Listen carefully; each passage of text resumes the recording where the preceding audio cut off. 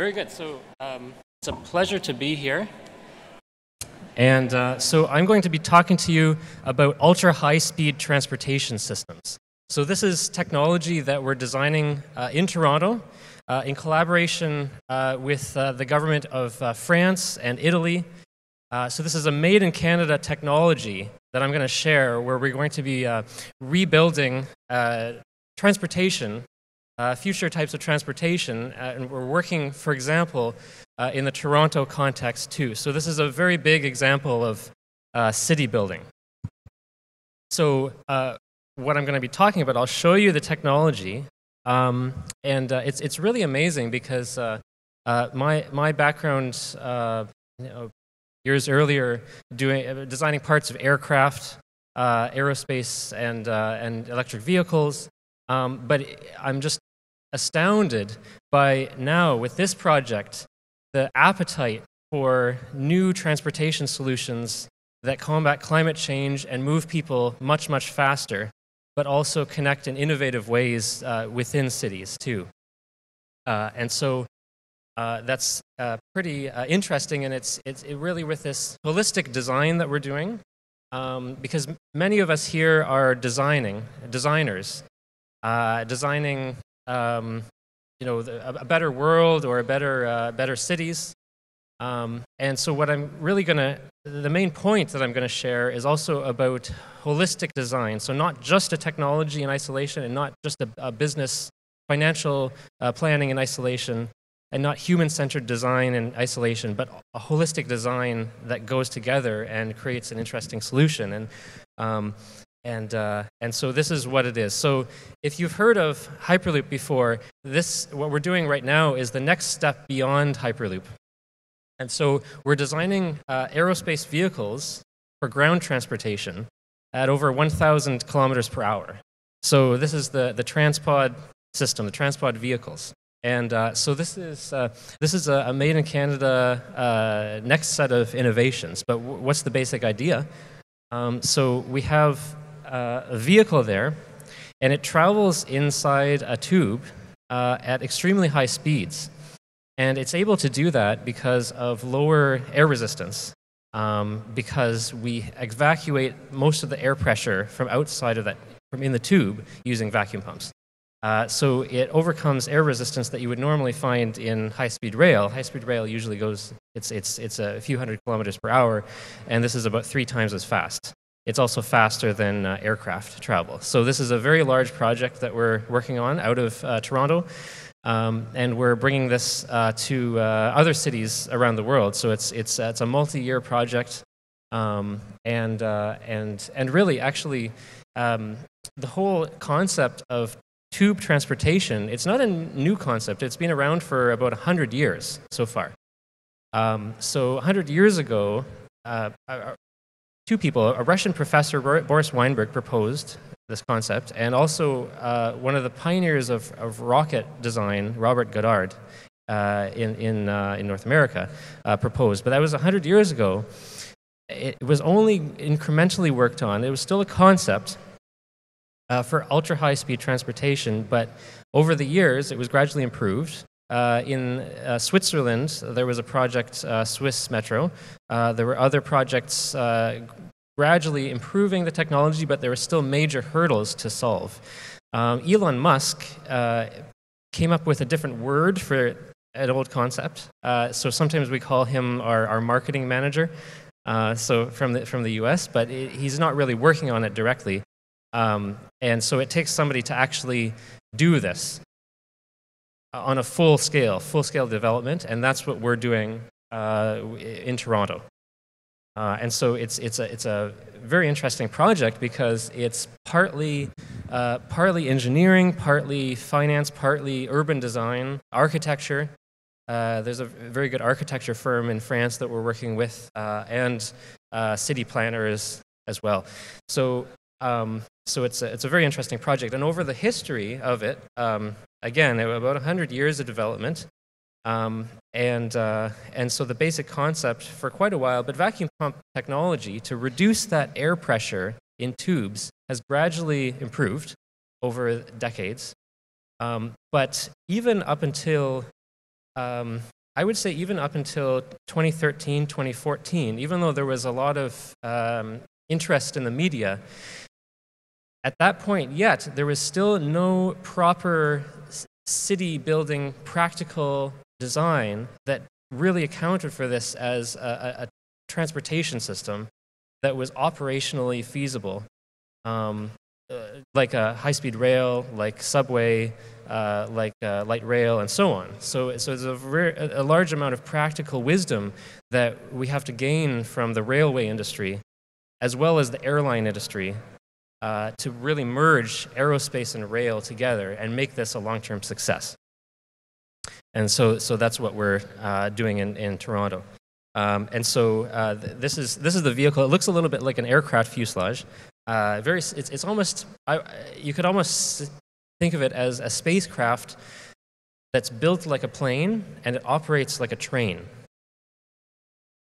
So it's with magnetic propulsion and uh, rows of seating inside. So this is a, a passenger vehicle um, uh, with uh, 27 uh, passengers inside, doors on each side, uh, electromagnetic propulsion. So it's completely uh, clean energy, electrically propelled. But we have some special technology that, that's this made in Canada technology to really make it competitive. now that we're working with infrastructure companies uh, to, to uh, uh, designing um, business models for this to be installed worldwide, um, you really have to make it competitive with high-speed rail. So not only is it about three times as fast as high-speed rail, but also about the same price. So if you look at the proposals um, for uh, right now in Ontario, uh, from Toronto to London and beyond, uh, that's, that's a, a, very traditional a high-speed rail proposal, uh, and we have quite a few alternatives to that. Um, and also one of our key designs, uh, we're working on a Toronto to Montreal uh, route, uh, and also in Alberta. This is just in the Canadian context. We're also uh, working with in uh, other countries. Um, so especially our work in, the, in Europe, and also potential in the Middle East, Asia, and Australia, the west coast of Australia, or the east coast of Australia. Uh, and, and, of course, uh, you know, designing for the long term includes very key safety designs. Uh, and so certification, uh, we have, um, we have, well, first of all, we've been, uh, we've been meeting with uh, Trudeau in Canada, Macron, the president of France, to really push this ahead in Canada and France. We're also working with the Italian government. And so we have a lot of research and development going on uh, in Italy too. Um, so it's a, it's a very big, very big process. But why are we doing this? Well, um, just the real underlying philosophy. Uh, and so all of you are, are really interested in designing cities of the future. Um, and so we have some major hurdles to overcome, uh, partly with traffic congestion. So it, uh, Toronto is a, a, good example of that, but also climate change, uh, because uh, this is the projected temperature increase over the next 100 years from NASA. Because all of the work that we've been trying to do uh, addressing climate change, we still have this future, uh, even after all of the work that we've already done. And why is that? Well, uh, you, you can actually track the energy use worldwide. So, worldwide, we have uh, energy from fossil fuels and renewables, but still, after all the work that we've done, a large amount of our energy comes from non renewables. And you see that on the side there. Why is that? Well, a lot of those non renewables are needed for transportation. And in transportation, we use those, for example, in jets. When you fly on an aircraft, it actually needs a very energy dense fuel, so jet aviation fuel, to, uh, to, to power the aircraft. And that's going to be the same way for a long time to come with jets. Uh, and so, uh, cars, we still need asphalt for the roads. Um, so, it's, it's, it's really, we're, we're trying to look at fundamental differences. Uh, so, aircraft you know, one thing that's interesting is every time you fly on a jet, so imagine uh, a, a, a transatlantic flight. So when you pay for your ticket and you get in your seat, the pollution that you cause just you from your seat, is equivalent to leaving the light switch on in your house 500,000 times. So every time we uh, try to turn, remember to turn off the lights, remember you have to do that 500,000 times in a row for one hour uh, to make up for the pollution that you've caused for your one flight. Uh, and so we really have to think big about transportation. We really have to think about fundamentals of vehicles themselves. Because fundamentals, a rocket, for example, a rocket has to lift its own fuel. And so does a jet. A car has air resistance.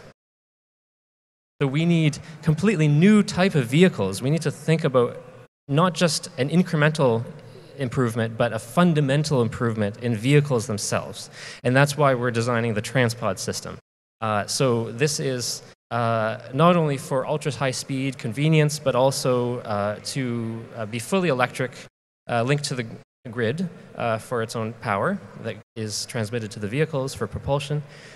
so it's, it's a renewable system and also providing a convenient alternative for people. And actually, um, What's interesting, uh, I didn't mention yet, uh, we're in the middle of uh, part of our work with France is that we're developing a test track uh, design that we're uh, uh, preparing the zoning for in France. So, a three kilometer long test track for the Transpod vehicle.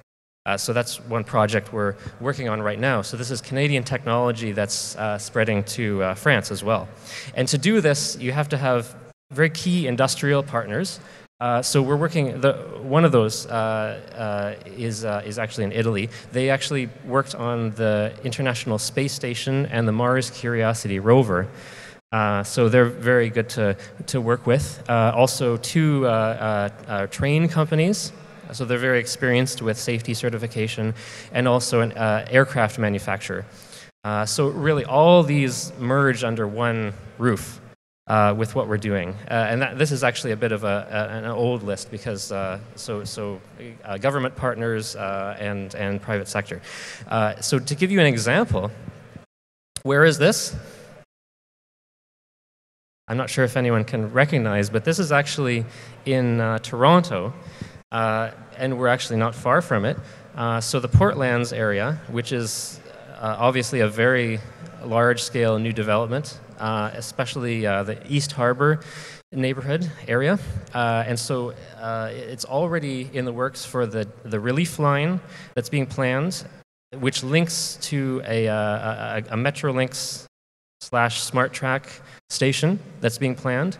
And so the developer has been working with us on adding a transpod station as one of the Toronto stations that we're developing.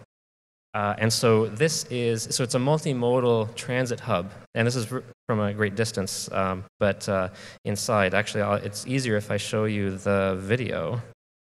To, there we go. Okay.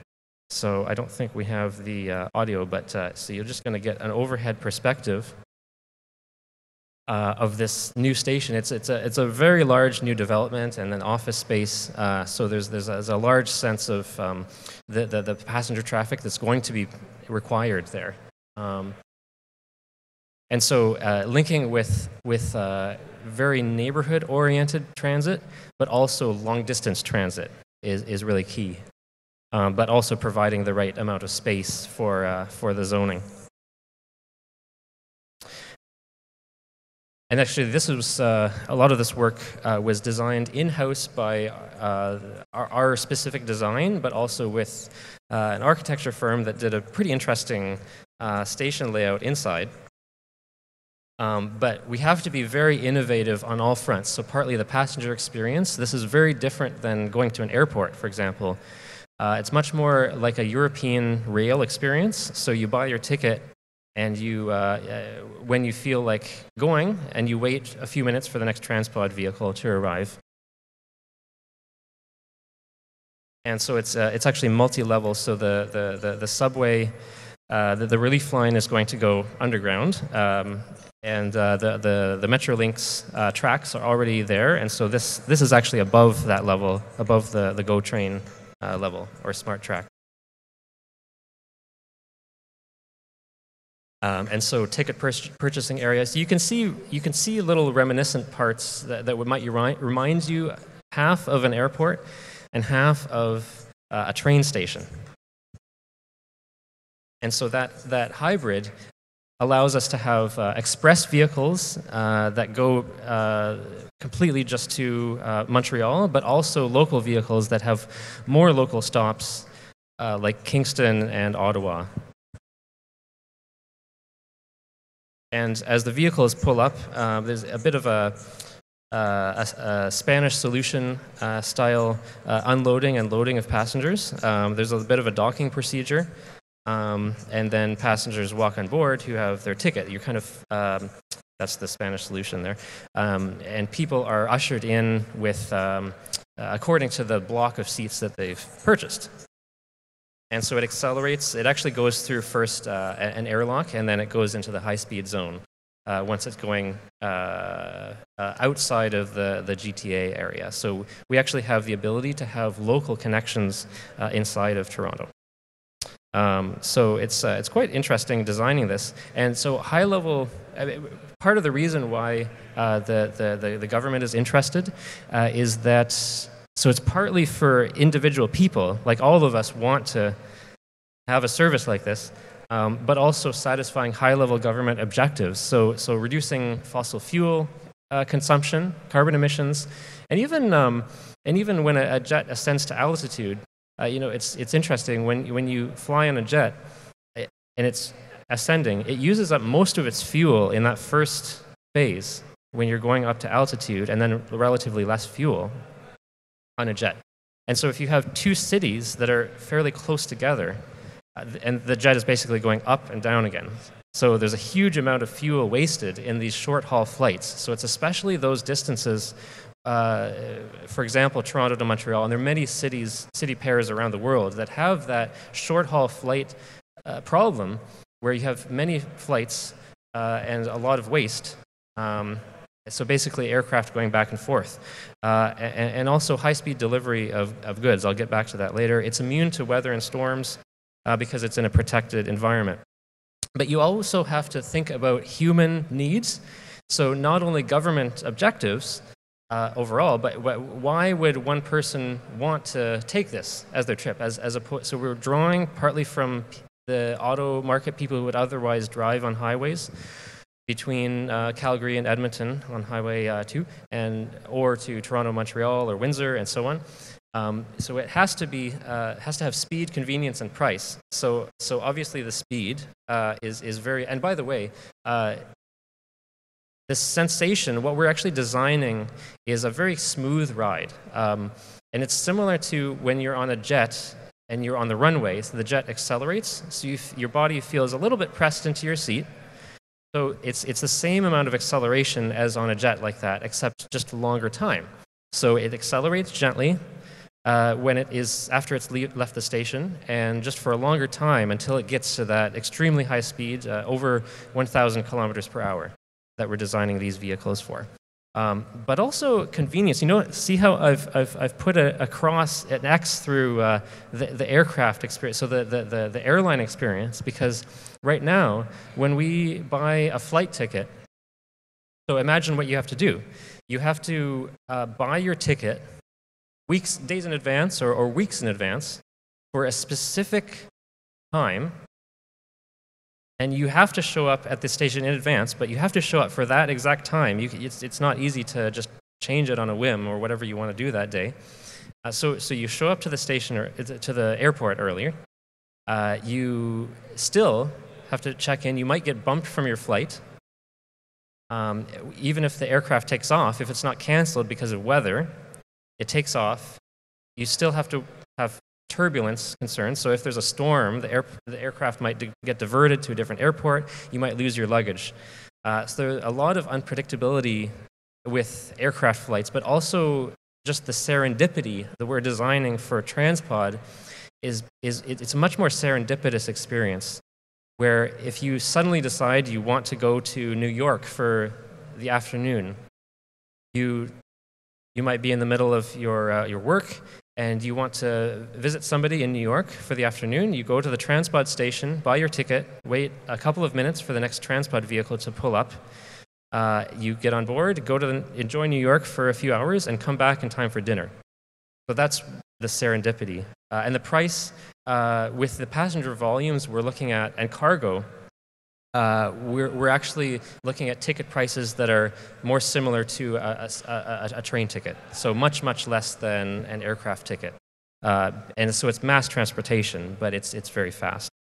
Um, and, and, and how, how much energy conservation? I mean, jets are very inefficient, but even cars, cars go the same distance, uh, but they're slower, and so you still end up using a similar amount of, of uh, energy uh, so, uh, and, and, trains are, are, a bit less, but the Transpod vehicle, since it's that much faster, with about the same efficiency, then it's much less energy used. And so overall, I mean, the, the social impact there, it's just improved work-life balance as well as the, the energy, the environmental side.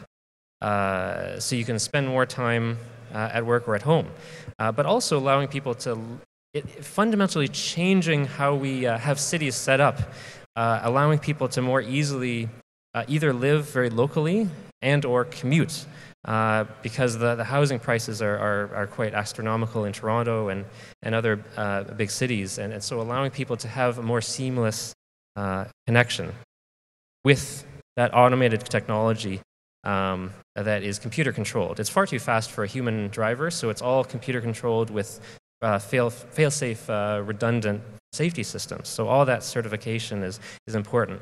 And then just like when you build an aircraft, uh, so aircraft manufacturers, what they do is they actually have an open floor. So they sell to different airlines, and then the airlines decide how they want to uh, lay out the seats. And so a similar thing here, um, where we have several different uh, seating configurations. That, that, one's actually an old one, uh, but, uh, but different seating configurations uh, that, that can be quite traditional and quite uh, innovative. And we have a very, uh, uh, in, a, in, a, few weeks, we'll, we'll be uh, showcasing uh, our new, uh, our new design. Um, and so it's also for cargo. So, so cargo, um, so, so I was, so we partly car- we talked with DHL, FedEx, and so what's interesting is that there are 10,000 trucks per day on the highway 401 so uh, between uh, windsor and uh, toronto. And so all those, those trucks crossing the ambassador bridge from detroit it's a huge amount of redundant uh, cargo traffic and also the cargo carriers that uh, do uh, air freight. So they usually have one flight coming from the us going to toronto each day and then they have another flight that hops over to montreal from toronto and so they, uh, they have actually told us what they would be uh, interested in doing is just eliminating that flight each day from Toronto to Montreal. Uh, so, so when we can, we can actually transfer uh, cargo, just standard pallets, onto uh, our car cargo vehicle. And so the cargo vehicles can interline with our passenger vehicles on the same route. Um, and actually, what they told us was uh, so the cargo carriers told us that uh, there's they predict with the traffic that they're, the cargo traffic that they're seeing, uh, they are predicting that our line will actually be completely full of, on, on day one of cargo only if we uh, filled that market. So we can fill our whole market completely to the brim even without passengers. There's so much demand on that corridor between uh, Detroit, Windsor, and Toronto and Montreal and Quebec City. And, uh, and so it's, uh, it's very interesting. But also, we were talking with, um, uh, we were talking with uh, vegetable growers down near the Windsor area where there's so much spoilage. And it, it's, it's frustrating when you're a, a farmer or you're a, a, a, wholesaler and you have the shipment come in and, and there's so many rotten fruit that you have to get rid of, so you have to sort through everything, and, and uh, it's, it's, it's, it's reducing a couple of those hours of transportation have a, a very uh, big effect. Uh, so these are standard uh, kind of aircraft kind of uh, loading situations. Um, and so this at the front of the vehicle, it actually looks like a jet engine, but it's it's it's not. It's an electrically driven compressor. It just helps. There's a tiny bit of air pressure that it helps get out of the way. Uh, so it's and then inside there, it's like an aircraft bulkhead. It's bigger than you might think, uh, but then there's in the in the whole uh, passenger area, it's uh, it's it's it's just normally like a aircraft cabin, uh, and so then uh, the docking procedure, and it's a twin tubes design, so like a train network uh, for both directions, uh, and we actually have an elevated and underground design because when you have hills, so out in the country, uh, the landscape varies, and so uh, it's, it's more cost effective to be above ground. The tun tunnel boring is, is a bit more expensive. Um, but when you have hills, the radius of curvature, you can't just curve up or down or, or, or turn a corner suddenly. And so with those hills, we have to uh, uh, cut, cut and cover and sometimes tunnel bore in certain areas, but otherwise above ground. Uh, and so uh, magnetically driven engines and all the control systems, all the subsystems we're uh, working on with our industrial partners uh, and even the civil engineering. Uh, and so this picture is actually uh, in Alberta uh, because we had a city council motion pass in Calgary already to begin the design of a, a, a route between Calgary and Edmonton. and so it's another case where they have quite a few flights uh, and a lot of car traffic between those cities every day. And so it's, it's another place where there's a lot of um, need. Uh, and same with the, the, the, test track, you know, in, in France, in Europe, it's amazing how uh, we're, seeing, we're seeing a lot of interest, you know, even more interest in Europe than in Canada. It, it's amazing how quickly things are going ahead in Europe, even though they already have very good rail network in Europe. Um, but, uh, but, it's, but there's a lot of interest. Uh, and so it's, it's, it's speeding ahead that much faster. And, um, and actually, it's kind of funny. Uh, we were at a, a rail uh, innovation conference that, uh, in Berlin. 10,000, sorry, 100,000 people attend that conference every year. It's amazing. And, uh, and so the president of Via Rail was speaking there. And there, I don't, there's nobody from Via Rail here, is there? Uh, but so, so it, obviously they do very good work at Via Rail. But it's interesting. His speech, he was he, when he was talking about innovation, he said, "At Via Rail in Canada, we are putting Wi-Fi on the trains." And uh, and so the audience was kind of looking at each other and. is that, is that what the best they're doing in Canada? So, so, so, so there's, a, there's, a, there's a lot of rail innovation in Europe, and so we're really um, building on that, that level of innovation with uh, aerospace at the same time. And so in the Toronto context, um, there's a lot of uh, needs, uh, not only between major cities, but also locally in Toronto. There's all of the congestion uh, that we're talking about and all of the desperate, desperate need for, for connections within the city. And so remember what I said. So the Transpod system, this is, this is beyond Hyperloop. This is the next generation. And we, we have a special uh, technology to allow us to have local connections within a city. So we can actually uh, have uh, local connections when you have, so they're already uh, planning the relief line. Um, and so that's, that's the initial uh, station design, but we're also, uh, uh, th that's actually supposed to be extendable to Union Station. So you have to start with an initial downtown station, but also stations uh, in the suburbs too. So uh, we were you know, hearing about uh, Markham too, and there's a lot of potential for uh, places like Scarborough and Markham, especially when there's work being done on the uh, on Smart Track and and Regional Express Rail in Toronto. This is actually a very interesting alternative because when you have uh, high-speed vehicles that go to other cities, but you piggyback on that system to do local connections. So for people in Scarborough or, uh, or, or, North York or Markham, to be able to connect downtown easily at a, at a, at a low fare, kind of like a mass transportation system, a transit fare. But also, uh, we've started talks with Pearson Airport uh, because they're doing that regional hub and so there's, we're working out a, a, design to have a transpod station at Pearson Airport too. So even if you're in Markham or, or Scarborough, being able to do the cross uh, uh, route across to Pearson Airport, and then beyond to uh, the, uh, Waterloo and London and Windsor. So, so this is major connections that, that uh, can solve on a few fronts. And then when you do that, you think of the speed and you think of the passengers in each, or, or, the tons of freight, but then all of the vehicles. So this is all the people that do the serious train system design. You have to think about how to do that properly, the operations, just like a subway network or a rail network. Um, all of the, the, the, vehicle spacing, the control systems, uh, the, the, the spare vehicles, the maintenance yards, and so on. So this is all part of the, uh, the design of all the vehicle throughput. So it's very high, it's high frequency. It's unlike at an airport where you only have a, one plane to a city per day or maybe a couple. Uh, so this is many. This is, uh, so, so the express vehicles uh, uh, to major cities every 15 minutes, but also local vehicles more frequently. So, so it's much more like a subway system. You just wait at the platform.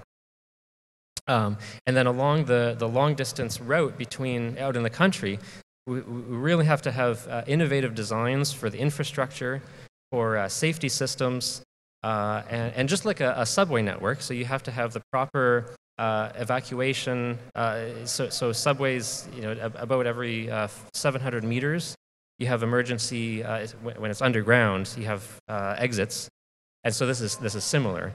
Um, but it's, it's in a way, uh, compared to aircraft, you know, safety, obviously the, the safety certification process is what we're doing. We're actually, we got a, a, a, a command or a, Marc Garneau, the Minister of Transport, uh, working with uh, the system that we're doing, so that he actually gave direction to um, his to the whole Ministry of Transport to begin a certification process for this kind of thing. And so uh, uh, and so we're really, the, the goal, what we're doing is starting with safety certification right from the beginning, baking the safety into the design rather than as an afterthought. So it has to be with multiple redundant safety fallback systems.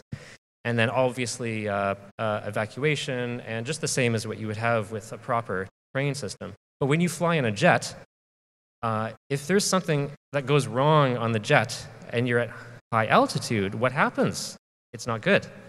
Um, and so typically, so if, uh, for example, if the aircraft depressurizes uh, and you're at 30,000, 35,000 feet, do you know what the pilots have to do? They can't just stay there. They actually have, it's part of their training, they have to immediately dive the aircraft suddenly down to about 10,000 feet so people can breathe. And then they can start to solve the problem. Um, and then even if there's other things, you know, you're not on the ground right away. This is ground transportation. Uh, we basically we uh, refill the tube pressure uh, immediately. If there's any problem, all the vehicles are wirelessly uh, sending commands to each other. Uh, so if there's any error, uh, the, the system goes into stop mode. So the vehicles stop, do emergency braking, everything stops, and then the system refills uh, and then it can start again if everything's fine, or passengers can simply walk out to the exits, just like on a, a train system. Uh, so we have to be very innovative with the, the design and the, uh, the manufacturing. Um, and actually, this is an old rendering. Don't uh, pay attention to that one. But actually, oh, one other thing is whenever you see on our uh, there's all the, the stuff in the, the media of what we're doing, and the ones with a clear uh, it, it, looks clear with the tube. That's actually just to let, for the rendering to let you see inside. Uh, but it's not actually clear. It's, it's actually spiral welded steel construction. So, uh, so just so you know, um, but that helps people see. And so we're really looking at how to connect cities in an intelligent way when you have linear population density, uh, especially those intercity routes where it really makes sense. Um, and, and the, route optimization, so, so we, we have computer algorithms that are doing the route calculations with all the mountains and everything, uh, but also the economic analysis. So you have to be, you have to be really strategic with all of that at the same time. Um, so it's, it's a very uh, detailed process, so the engineering and the, even the economics. Um, but then making it a very comfortable passenger experience too. So the people, it's really the people that matter, the, the consumers that, that pay for tickets. And oh, by the way, um, we're working with a special company that does optics to create artificial sunlight. So they have special optic lenses and a device that makes it appear as though the sun is uh, just like this. It's, it's, it's far up ahead, even though it's. So, so what we're the point is to make it a comfortable experience and not claustrophobic. and even with video display walls, so you see the scenery going past uh, as, as you go at high speed. Uh, because that's, that's a lot, uh, it's more interactive and it's, it's, it's, uh, it's, it's hard for us to put glass everywhere, so, uh, so it, it's, it's much more interesting to do it this way. Um, and so our company is in Toronto, but we actually have offices in Italy and France um, and we're working uh, quite a bit uh, back and forth. so um, we have uh, some large-scale project, the Test Track project and industrial development uh, overseas and in Canada. And, uh, and you know, the, the, the, big, the biggest concern is, is really making sure that um, Canada catches up. Because uh, one thing I'm worried about is, is as the level of funding increases from Europe, more and more of this made in Canada technology is being brought, over, developed overseas. And Canada is losing out slowly. Toronto is losing out slowly. And this is, this is something I, I really worry about uh, day to day. But what happened was uh, we have, originally, we have our special, our secret sauce to make this really work well. Uh, so our, our, our, patents and everything. And uh, what happened was our initial investors in, in uh, Italy, uh, we went over there and we had to basically, it turned into a big grilling session where they were looking at all of these things the, the, the, the physics, the, the city design, the, the, basically the proprietary way that we solve the physics to make the urban design work. Anyway, so they grilled us for hours and uh, it was pretty uh, intimidating, but that was our initial uh, they, they, they were interested in investing, and so they went away and uh, determined that uh, they wanted to go ahead and invest. And that was one of the largest angel investments in Canadian history, uh, based on this unique made in Canada design that's a next step beyond Hyperloop. So this is, that's why we call it Transpod. And, uh, and so we're really trying to make the next generation of transportation uh, here in Canada. And, uh, and in, in, a, in a sense, it's, it's, it's like the Canadarm or the, the CANDU reactors. It's Canadian technology that we want to really export globally. So to have it, uh, the next big aerospace project like the Canadarm uh, that's recognized around the world and Canadians are proud of. Uh, and so this is, this is really a big change. And, and you look at, you look at uh, if you can see those lines, those are aircraft flights. So this, I'll just end on this and we'll have some questions. Um, but uh, but uh, one of the interesting things, there's so many flights around the world, and we're not trying to replace all aircraft flights. Uh, because across the oceans, we'll always need, we'll still need aircraft to go across the oceans. It's not practical to build tubes there. Um, some people in the, in the media have been speculating about, oh, is that possible? But it's, it's not practical. But it's really the short haul flights, and it's really about making mass transportation the smart way. And I think, I think uh, in, in, in Toronto, we, uh, we kind of get mass transportation. Um, and, and there's, we try to um, at Transpod, we're, we're trying to kind of ignore what's going on down in the US. There's a lot of um, uh, hype or, or, activity about some of the Hyperloop work, but, uh, but really trying to design it intelligently here, this is, this is the point for the long-term success.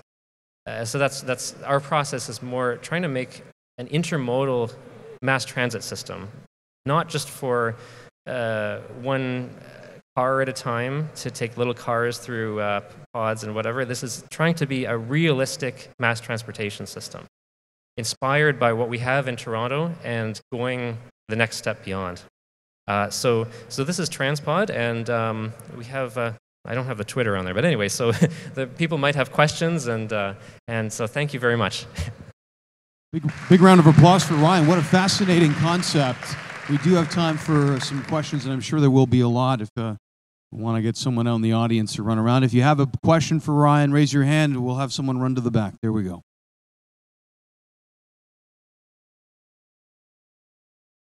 Hi, uh, this sounds amazing, but I'm wondering about uh, ecological impact. Uh, can you speak more to that? Ah, yes. Oh, you know, one important thing that I forgot to, I always, there's always, there's so many parts of this that I, I always miss one thing. But, uh, but one of the interesting parts about, if you compare it to high speed rail, um, so, so, so, that, so the one proposal of, of possibly high-speed rail, uh, traditional rail from Toronto to London. Make that work, uh, you have to, it, it, can't go, like the faster it goes, it can't go on traditional uh, low speed train tracks. They have to build new. And so that ends up cutting across farmland. So the process, and they're in California, they're doing the new high speed rail line. They, it's a huge amount of work to expropriate all that farmland.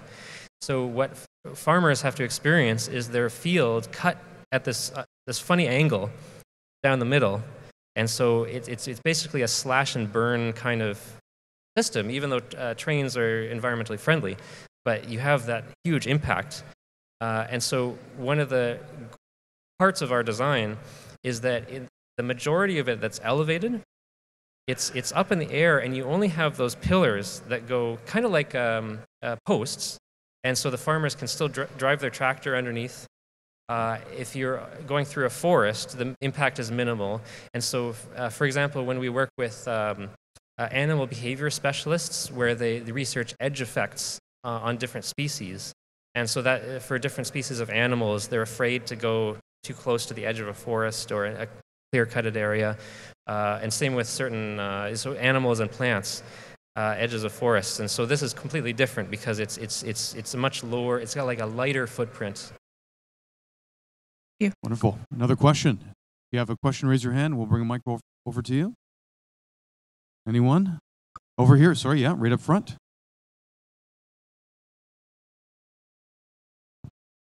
I'm curious about what if you were outside of the line, say you're the farmer and you're in your tractor, what does it sound like when the train goes by? Ah, that's a great question. Um, so when you have these vehicles in a near vacuum environment inside the tubes, um, the amount of, I mean, there's a tiny amount of air pressure, uh, but basically sound doesn't travel in space.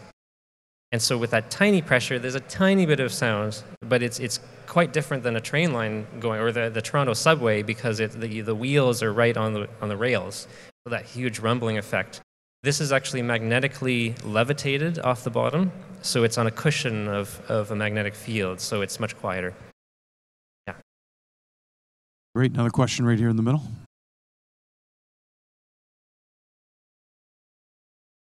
Uh, when you were mentioning about um, using magnetic fields to power, I guess it's you're using a magnetic field to power the motors to drive a turbine. Um, how are you getting the energy to power those turbines if you're not using batteries within the, like, are there batteries within the pods or is it like a pressurized initial push and then it just sustains that or yeah, describe that a bit more? Another good question. So very good. So so we actually have uh, an advanced high-speed power transmission that is uh, similar to on trains. They have the the, the power pickup, or on front of subways, they have the, the shoe, the pickup shoe that picks up the power, uh, or, or or more trains that have the pantograph overhead. Uh, so this is kind of like that inside the tube, but it's a uh, a very part of the main in Canada interesting physics is uh, making a new system like that that actually goes at extremely high speed. And so this is part of our special sauce. Um, and, uh, and you look at um, uh, you look at some of those train tests in Europe. Every once in a while, they have like a, a super high speed train test that's maybe 500 kilometers per hour. But you can't really, with a train, you can't really do that um, normally. They, they never, they don't put normal passengers in those trains. They just have uh, maybe two operators that are a little bit afraid, um, but they, they do it uh, because the train isn't designed, the, the power pickup isn't designed, it, it wears out very badly at those speeds for tr normal trains. So this system, so, so that's why high-speed rail is more for, uh, you know, 300, 400, up, sometimes 400 kilometers per hour. It's, uh, but, so this is about three times as fast uh, with that special power transfer. So it's, it's, it's linked to the grid on the outside. Uh, and the solar panels you see, that actually, uh, it helps, there's a, it helps generate an overall net power back to the grid. Um, but, uh, but then it, it uses the grid to stabilize. Fascinating. Um, uh, we have time for one more question over here, Nigel. Hi there, thank you. Um, I'm wondering if you could uh, tell us about your projections in reducing congestion. You talked about 42 um, trains per hour or pods per hour. Uh, what, what's the impact to the congestion in the urban uh, corridor from, say, Toronto to Montreal? It, it really comes down to how much uh, how much we build out. The, so it's it's a very um, uh, reconfigurable system. Uh, you can have the basic version. So it depends on the amount of investment from governments or, or private sector. Um, because the basic version is what I showed, uh, but then there's also ex uh, extensions where you actually add more tubes uh, as part of the, the, the system. So, you have, so especially when I was saying, um, you know, the, the, the, cargo traffic only, where it can be used, it, it can reduce truck, truck traffic purely from cargo shipments. Uh, now we can also add extra tubes for the, they can be interlined with passengers on the same tube, like tubes, uh, but you can also uh, add more tubes for increased capacity. So it really is uh, quite variable depending on the level of investment. Uh, and so, for example, uh, in Canada uh, and in Europe, we, well, especially in Europe, there's, there's quite a bit of, that, that often comes from the, the, the public sector. So, and in Canada too, there's, maybe a, a, a public-private mix for each for lines like that. Uh, actually, so each of our city pair locations, just as a background, uh, we uh, it's it's it's it's our own business case that we have, but we create the business case for a, a public-private partnership that builds the line. So there's a finance backer. Uh, usually, and a, a, government backer and a major construction firm, or, or multiple, and us. Um, and so uh, depending on the level of investment, so if it's public sector investment, they want to reduce uh, that congestion as much as possible. Uh, sometimes if it's private sector, like in the United States, uh, it's a bit more of a private sector mix usually. Uh, and so then it depends on the level of investment from the private sector.